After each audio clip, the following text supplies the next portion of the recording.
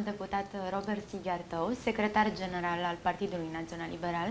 Este invitatul meu de astăzi la Puterea Știrilor. Bună ziua, domnule Sighiartău, și vă mulțumesc din nou că ați acceptat invitația noastră. Bună ziua, mulțumesc pentru invitație. E o întreagă nebunie pe scena politică. Am văzut că premierul Viorica Dăncilă încearcă să-și treacă cumva guvernul, numai numai să nu ajungă în, la votul Parlamentului, în timp ce opoziția pregătește moțiune de cenzură. Care este stadiul uh, moțiunii de cenzură? Așa cum a anunțat și președintele Ludovic Orban, noi ne-am întâlnit cu toate partidele de opoziție, respectiv USR, PMP, uh, ALDE și Pro-România. Am discutat cu liderii uh, acestor partide. Și UDMR. Și UDMR, da, ca să obținem, așa cum am anunțat încă de la început, semnăturile lor și a parlamentarilor acestor partide pe moțiunea de cenzură. Pentru această moțiune avem nevoie de 233 de voturi și vrem să avem 233 de semnături asumate, astfel încât să ne asigurăm că această moțiune va trece. Bineînțeles, respectând votul la vedere, astfel încât să vedem exact uh, cum va vota fiecare parlamentar care și-a asumat și semnătura pe moțiune. În discuțiile cu acești lideri ai partidelor, ei au fost de acord și uh, verbal au spus că vor aduna semnături pentru uh, această moțiune de cenzură, astfel încât să avem acel număr de 233 de semnături. Bineînțeles că între timp pe scena politică s-au întâmplat câteva lucruri, în sensul că ați văzut uh, inclusiv la ALDE, e au început să fie exact în partid. anumite breșe, e o nebunie, Meleșcanu a decis să trădeze uh, acest partid și nu numai el, câțiva colegi. Și lucrurile se reconfigurează zilnic, dacă nu chiar uh, la fiecare oră. Sunt discuții, uh, se fac tot felul de calcule. Bineînțeles că unii din parlamentari încearcă să se salveze și își negociază portofoliile de parlamentari cu unii sau cu alții, mă refer la anumite partidulețe, însă noi ne dorim ca această moțiune să treacă. Este extrem de important ca acest guvern PSD să plece cât mai repede acasă. Uh, mulți au spus, domnule, eu cred că opoziția nu vrea sau la un moment dat erau discuții că nu se prea dorește chestiunea asta. Inclusiv legată, Kelemen Hunor a declarat da. asta. Eu vă spun sigur că noi, Partidul Național Liberal, chiar ne dorim să cadă guvernul PSD. De ce? Pentru că cât rămân mai mult acolo, cu atâta uh, criza economică se adâncește și aici mă refer la felul în care se administrează banul public, e, inclusiv faptul că ministerele nu mai sunt funcționale. De ce? Pentru că nu există o stabilitate, nu există o viziune, uh, avem un guvern uh, făcut din uh, bucățele, oameni puși de Liviu Dragnea, oameni puși de Viorica Dăncilă, Uh, sunt foarte multe lucruri care nu sunt în regulă în Guvernul României. Nu mai vorbesc de uh, chestiunile care deja se știu, oameni incompetenți, oameni care n-au dovedit nimic în viața profesională și sunt miniștri care, așa cum am spus, n-au dovedit absolut nimica. Totul este pe hârtie, nu avem niciun kilometru de autostradă în plus, se tot discută de eventuale loturi care se dea uh, în folosință. Deci, ne dorim să plece, suntem foarte serioși, negociem, fără însă a face compromisuri care să afecteze, uh, în urmă, direcția Partidului Național Liberal și nici țara, pentru că discutam și cu dumneavoastră înainte de a intra în emisiune, noi nu ne dorim să facem trocuri și să salvăm tot felul de parlamentari care s-au dovedit a fi niște oameni care nu sunt în slujba oamenilor și nu lucrează în interesul cetățenilor. Adică nu veți negocia inclusiv cu psd Nu, nu și nu vom negocia funcții de parlamentar. Pentru că asta este tot o formă de trasism. Și noi nu suntem de acord cu forma asta de trasism. Uh, guvernul trebuie să cadă, presiunea este pe fiecare parlamentar, inclusiv de la PSD, de la ALDE, pentru că dacă ne uităm în toate sondajele și mergem pe stradă și vorbim cu oameni, o să vedem că toți doresc ca acest guvern să plece. De ce? Pentru că nu oferă o perspectivă Uh, de dezvoltare României, ne duce într-o direcție greșită, aproximativ 80% dintre români cred lucrul acesta. Și atunci normal că nu există argumente pentru a mai ține acest guvern. Nu mai au nici legitimitate și așa cum uh, s-a dovedit în uh, zilele anterioare, nu mai au nici majoritate parlamentară. Bineînțeles că ei acum încearcă să o construiască. Asta tot cu costuri, pentru că ați văzut, se pun Se oameni dau pe funcții. fu- se dau funcții. Iar funcțiile nu se dau în funcție de uh, competențe, de profesionalism. Vine un parlamentar de la altă și spune, eu vin uh, uh, și îți votez uh, guvernul dacă îmi dai o funcție de ministru, dacă mi-o lași pe soția mea uh, șefă la finanțe, dacă leși pe cumătru și pe finul meu uh, șef la poliție, cam asta este logica. O logică dăunătoare pentru țară. Spuneați dumneavoastră că PNL a avut uh, negociere și cu uh, Pro-România, partidul lui Victor Ponta. Am văzut uh, câteva declarații în ultima perioadă, cel puțin contradictorii ale lui Victor Ponta. Ba votează moțiunea, ba nu votează. Bă, Ce a ieșit din această negociere? Victor Ponta, așa cum Am văzut, oscilează. se știe în opinia publică, nu este un om pe care poți să te bazezi. Deci nu este un om de cuvânt. Uh, În discuțiile purtate cu Partidul Național Liberal și cu liderii Partidului Național Liberal, uh, a spus că este deschis și că vrea să voteze această moțiune de cenzură. Însă, în anumite declarații, o mai cotește, le mai schimbă, le mai modifică. A pus condiții. Uh, nu, n-a pus condiții. N-a pus condiții, pentru că nici noi n-am pus condiții. Primul obiectiv principal al Partidului Național Liberal, înainte de a discuta despre formarea unui nou guvern sau cine va fi prim-ministru, uh, este legată de căderea guvernului. Deci nu putem vorbi despre alți pași până nu cade acest guvern. Bineînțeles că după aceea ne-am dorit să uh, declanșăm alegeri anticipate. Asta s-ar putea face dacă uh, acei parlamentari care au votat pentru căderea guvernului ar fi de acord să uh, semneze și să își dea cuvântul că vor pica în Parlament doi prim-ministri desemnați de formă ca apoi să se declanșeze alegeri anticipate în următoarele luni. Ceea ce trebuie să recunoaștem nu este deloc ușor. Pentru că uh, Constituția României, din păcate, este croită în așa fel încât foarte greu uh, declanșeze alegeri anticipate. Și din punctul meu de vedere, aici ar trebui făcut o modificare în următoarea perioadă, dacă Partidul Național Liberal va avea majoritate largă, împreună cu alte partide care doresc o reformă constituțională, trebuie să reglăm puțin lucrurile. Pentru că nu este normal și nu o să găsiți niciunde în Europa, în momentul în care un guvern își pierde uh, majoritatea, legitimitatea de a uh, conduce o țară, să nu poți declanșa alegeri anticipate. Nu este nicio țară în Europa. Iar aici trebuie să Deci avem... aveți de gând să schimbați Da, uh, da. Deci acest din aspect. punctul meu de vedere și am discutat și în partid, la un moment dat, când avem două treimi, pentru că ai nevoie de susținerea a două treimi din Parlamentul României, trebuie să schimbăm Constituția României astfel încât să fie mai facile și să fie un reglaj, pentru că, până la urmă, voința poporului uh, trebuie pusă în practică. Iar în România, cum am văzut în acești patru ani de zile, s-au schimbat trei prim-ministri, uh, foarte mulți miniștri au dovedit că nu pot guverna, dar nici alegeri anticipate nu s-au putut declanșa. Deci, așa cum am spus, uh, ca și concluzie, primul obiectiv, căderea guvernului, apoi, uh, normal că președintele este cel care are atribuția de a uh, desemna prim-ministru, în primul rând de a face consultări uh, pentru a vedea ce fel de majorități se construiește și ce fel de uh, partide se pot alea pentru o guvernare, iar apoi dânsul, bineînțeles că propune un prim-ministru în jurul uh, căruia să se formeze viitorul guvern. Deci ca, aceasta este logică.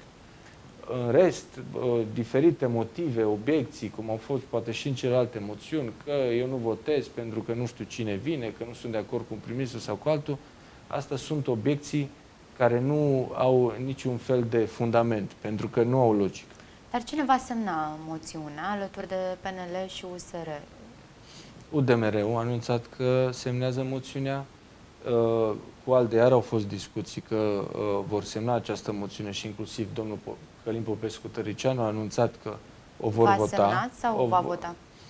Că o vor vota și că o vor și semna. Asta înseamnă. Iar cu domnul Ponta, la fel, au fost discuții, a zis că este deschis, că își dorește să voteze moțiunea, însă de la vorbă până la faptă mai este un drum de parcurs. La cum arată scena Da, politică, exact. acum ne putem aștepta la orice. Dar când va fi depusă această moțiune? Ați pregătit un calendar? O... Această moțiune vrem să o depunem cât mai repede. Ce înseamnă cât mai repede? Uh, cât mai repede înseamnă în Până momentul la în care alegeri? avem semnăturile propriu-zise pe hârtie. Pentru că discuțiile au fost uh, uh, cu liderii partidelor, vor mai urma câteva în următoarea perioadă, astfel încât fiecare acolo, în uh, grupul lor parlamentar, să adune semnăturile. Pentru că nu o să mergem noi cu foița să adunăm semnăturile de la UDMR sau de la alte. Nu. Grupul parlamentar trebuie să adune semnăturile de la fiecare parlamentar în parte, iar apoi să facem centralizarea, să ne asigurăm că avem peste 233 de semnături, iar apoi textul moțiunii, negociat rapid. N-ați început textul Ba moțiunii? da, l-am început, se lucrează, negociat rapid cu celelalte uh, formațiuni politice, iar apoi se depune în, la birou permanent uh, al camerelor reunite și se intră în calendarul propriu-zis de uh, dezbaterea moțiunii și de votarea moțiunii de cenzură. Toate astea ar putea fi până la alegeri sau ne-am putea aștepta inclusiv Toate după? acestea pot fi până la alegeri.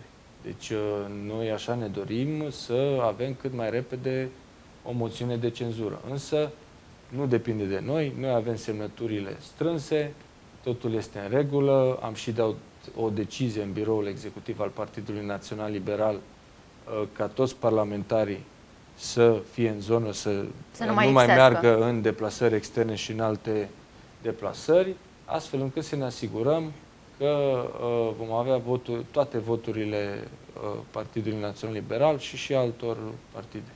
Dar cum ar arăta un nou guvern în viziunea Partidului Național Liberal? Ok, pică guvernul Dăncilă. Cum ar trebui să arate următorul guvern? Următorul Sau guvern din cine ar trebui să fie... Dacă ALDE și pe Pro-România votează moțiunea, se vor afla și în noul guvern? Acum, știți cum e? Uh, V-am răspuns mai înainte cumva la întrebarea aceasta, pentru că aici intrăm deja pe un fond speculativ. În momentul în care cade un guvern, lucrurile se reconfigurează, fundamental. Inclusiv în arcul puterii al PSD-ului, inclusiv ceea ce se întâmplă cu uh, Pro-România, cu ALDE, că ați văzut că și acolo sunt uh, lupte, să zic așa, și diferențe de viziune. Deci lucrurile se reconfigură. Eu acum vă spun așteptările noastre ale Partidului Național Liberal. Noi avem nevoie de un guvern, în primul rând, format din profesioniști. Deci asta este clar. Tehnocrați? Nu tehnocrați.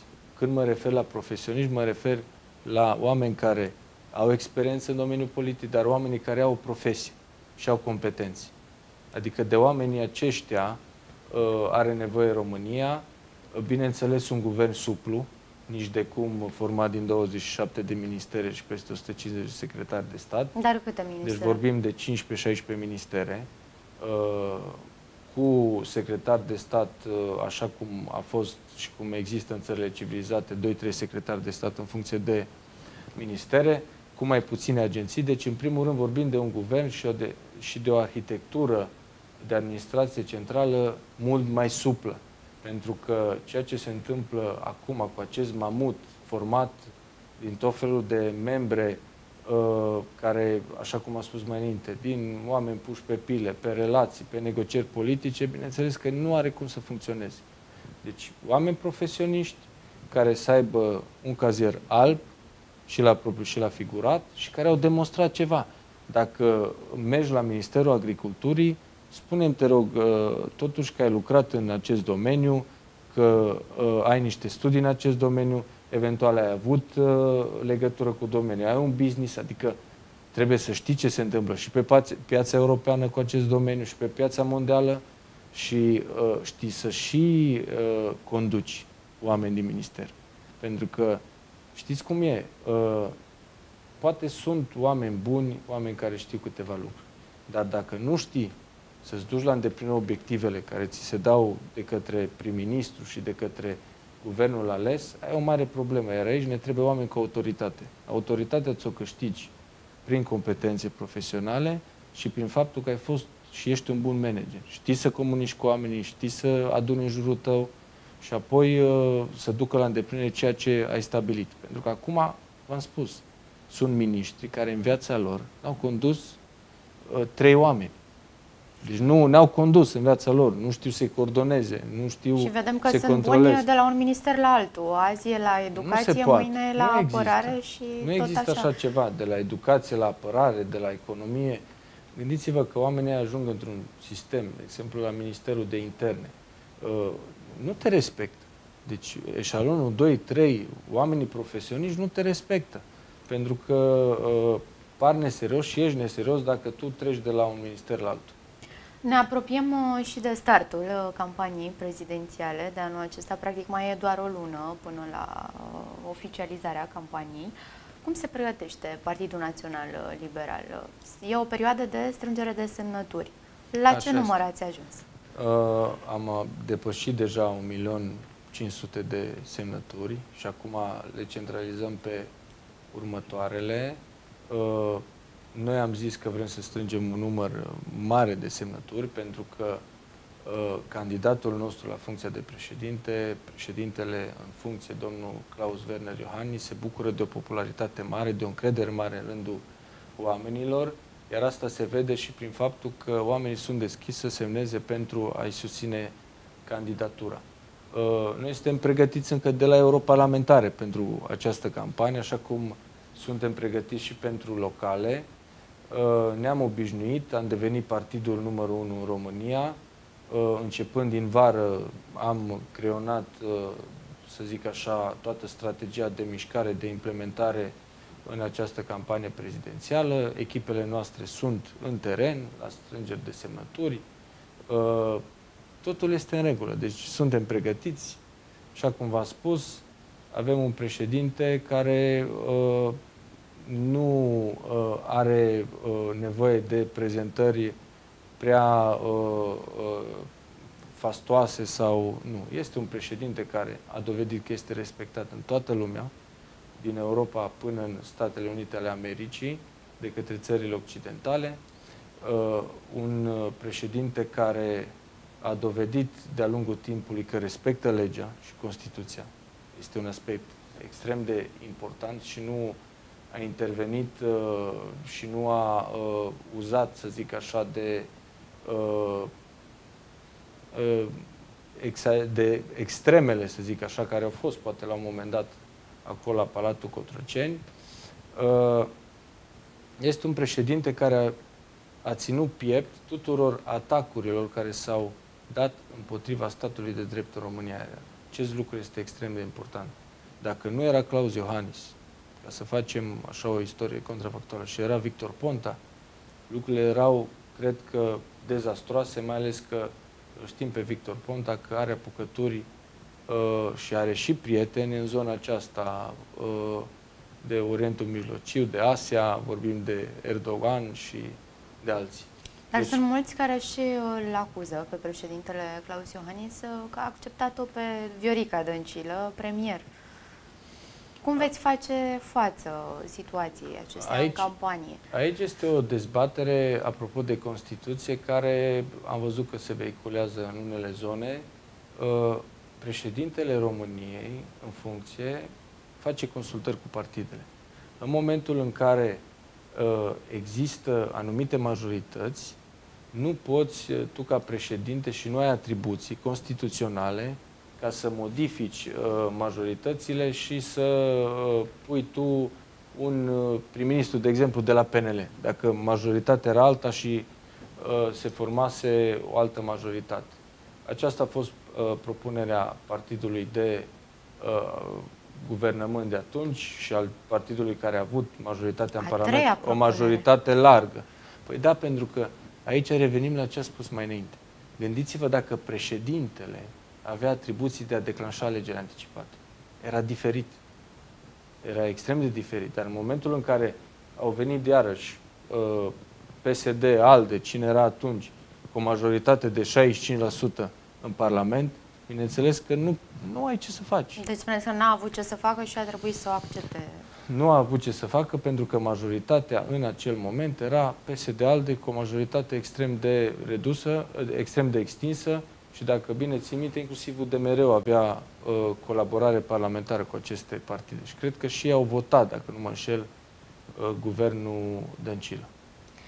Sunteți uh, deputatul care au reușit să majoreze alocațiile copiilor uh, din România. O întreagă țară v-a felicitat și asta am văzut inclusiv noi în online. Ieri ați anunțat că ați reușit și indexarea alocațiilor. Mai exact? Da. Ce urmează? Anul trecut, când am depus proiectul de majorare a alocațiilor, am mai depus un proiect. N-a fost chiar așa de mult promovat, pentru că, înțeles, focusul principal era pe majorarea alocațiilor, uh, acel proiect viza indexarea alocațiilor, adică creșterea alocațiilor, în raport cu inflația din România. Că dacă astăzi în România avem cam 4-5% inflație, inclusiv alocațiile trebuie să crească în raport cu inflația. Pentru că acea valoare uh, uh, alocației nu este de fapt reală, pentru că inflația mâncă, să zic așa, și erodează din uh, banii, din banii pe care până la urmă îi primesc copilașii. Iar dacă pensiile sunt indexate anual cu rata inflației și mai există un quantum acolo legat de și un calcul legat de salariul mediu, am zis că este foarte normal ca alocațiile copiilor să fie protejate și să crească anual cu uh, rata inflației, pentru că Uh, în mod normal, într-o țară normală și dacă ne uităm și în Europa, n-ar trebui să existe inflație, adică ar trebui să fie cam 1-2% maxim, pe când la noi este 5%. Iar uh, asta... Campioni. Suntem campioni, da, suntem pe primele locuri în Europa, iar asta este o problemă. Iar faptul că s-a reușit în Comisia de Muncă, cu toate că la început majoritatea PSD a respins în Comisia de Buget Finanțe, dar acum Uh, s-a votat uh, în Comisia de Muncă, care este Comisia Raportoare pentru acest proiect, este un lucru uh, îmbucurător pentru că mai obținem și mai facem pași, să zic așa, pentru îmbunătățirea vieții familiilor, până la urmă, din România. Pentru că aici, dacă îmi dați voie, este o întreagă discuție. Am mai fost și la dumneavoastră în studio. Aceste proiecte de lege au început, în primul rând, de la o statistică care m-a înfiorat, legată de ceea ce înseamnă demografia României. Că avem o scădere a natalității, România pierde în medie undeva 80.000 de oameni anual, aici mă refer prin uh, decesuri versus uh, natalitate și uh, nașteri. În plus de asta au fost oameni care au emigrat anual. Anul trecut s-au născut mai mulți copii în afară în decât afară. în România. Da. Deci. Iar gândiți-vă că pe termen lung impactul este devastator, pentru că acei copilași vor deveni viitorii contributori pentru țările respective sau pentru România. Iar uh, guvernul, din păcate, nu a venit cu nici o măsură în acest sens. Iar pe lângă semnalul pe care l-am dat de majorarea locațiilor, eu acum lucrez la un pachet mai amplu, un pachet pe care l-am și denumit Viață pentru România, în care vizăm fiecare părticică și domeniu al vieții unei familii. Pentru că dacă foarte mulți români emigrează, emigrează pentru că dincolo statul, statele occidentale au mult mai mare grijă față de familie. Începând de la lucrurile simple, că o familie cu 2-3 copii uh, au loc de parcare uh, uh, mult mai aproape față de instituțiile publice sau față de Uh, uh, uh, locul unde vrei să-ți desfășori activitatea, până la facilități pentru familiile care au 2-3 copii, pentru că una este să uh, ai uh, uh, 3 copii și să ai anumite costuri după copilaș și una este să nu poți, uh, să nu ai niciun copil. Iar apoi sunt familii care, din nefericire, nu pot să facă copii. Uh, noi vrem să venim acum cu un proiect ca uh, la început, uh, primul, uh, uh, primul copil, să zic așa, sau primul sau un ajutor pentru înseminare artificială, pentru că aici încă se pot face tot felul de lucruri medicale, iar vrem să dăm gratuități pentru primul copil, pentru familiile care nu pot face, astfel încât să beneficieze cu ajutor, de ajutor din partea statului pentru înseminare artificială. Deci, Plus de asta, reduceri fiscale pentru mamele care au trei copii, reduceri la impozitul uh, local, pentru că și deci este un pachet de legi la care lucrați un pachet de legi la care lucrăm acesta? în momentul acesta. Uh, vrem să lucrăm temeinic. Uh, eu tot ce am făcut, uh, nu am făcut de dragul lumii sau ca să vadă lumea că am proiecte legislative în Parlament. Uh, studiem impactul bugetar, facem statistici astfel încât ne, să ne asigurăm că aceste investiții cu care venim, că sunt investiții, sunt bani în plus pentru familii, vor avea o amortizare pe termen lung. Adică acele familii, într-adevăr, vor fi... Și că mai avem bani pentru și că mai avem bani, pentru că trebuie să La recunoaștem, uitați-vă ce se întâmplă din punct de vedere bugetar. Numai de găuri exact. auzim. Deci nu vrem să venim cu uh, soluții care să nu poată fi implementate când intrăm noi la guvernare. De fapt, pachetul este gândit în așa fel încât... Deci analizați și impactul bugetar. Uh, inclusiv la alocații. La pentru alocații. că mulți au zis, de ce n-ați mărit alocația la, nu știu, 400 de lei, 500 de lei? Pentru că ne-am gândit ca aceste creșteri să fie uh, sustenabile din bugetul statului. Iar apoi uh, toate aceste investiții uh, să aibă o amortizare în timp. Pentru că dacă acest proiect într-adevăr are efect și eficiență, în timp familiile vor naște mai mulți copii, vor avea mai mulți copii, vor veni copii, vor fi contributori la bugetul de stat și normal că statul în final va câștiga. Este o mare dezbatere, să știți, inclusiv în Europa, legată de demografie, uh, pentru că se ajunge în situația în care o țară nu se mai poate dezvolta uh, economic exact din această cauză. Și acum, dacă întrebați în stânga, în dreapta, uh, companiile din zonă nu au forță de muncă nu mai au cu cine lucra. Nu mai au specialiști, nu mai au nici forță de muncă, nici muncitori necalificați, nu mai sunt. De ce? Pentru că au emigrat, pentru că, uh, din păcate, din cauza situației și climatului social, familiile n-au mai uh, făcut copii, unii n-au mai avut uh, o situație financiară bună ca să aibă copii. Dacă mergeți într-un spital din România și aici nu vorbim de Uh, județele civilizate conduse de liberal și în anumite zone din sud o să vedeți că în spitale, din păcate, când te internezi s-ar putea să uh, Pleci contactezi o boală, exact, uh, periculoasă. Deci sunt anumite situații care nu a stimulat familia să se dezvolte în România. Normal că în Germania, în Italia, în Anglia, unde beneficiază de servicii sociale de calitate, de sistem de sănătate de calitate, de educație, Uh, de calitate, uh, este foarte atractiv să emigrezi. Noi trebuie să rezolvăm această problemă, iar pachetul acesta vizează exact îmbunătățirea și calității vieții familiilor din România și a familiilor tinere pentru a, uh, a-și crea o familie aici, în țara noastră. Inițiatorii sunteți dumneavoastră? Eu și... lucrez la pachet, bineînțeles, cu colegi din Partidul Național Liberal. Va fi un pachet susținut de Partidul Național Liberal, care va fi depus uh, uh, inclusiv în cadrul Parlamentului României și apoi preluat în programul de guvernare pe care Partidul Național Liberal uh, l-a recreionat, uh, se lucrează la el, se uh, updatează, să zic așa, cu realitățile economice de zi cu zi, va fi parte a programului de guvernare al Partidului Național Liberal. Domnule Robert Sighiartău, eu vă mulțumesc pentru prezența dumneavoastră alături de noi și vă mai așteptăm cu mare dragă de fiecare dată. Și eu vă mulțumesc foarte vă mult. Mulțumim.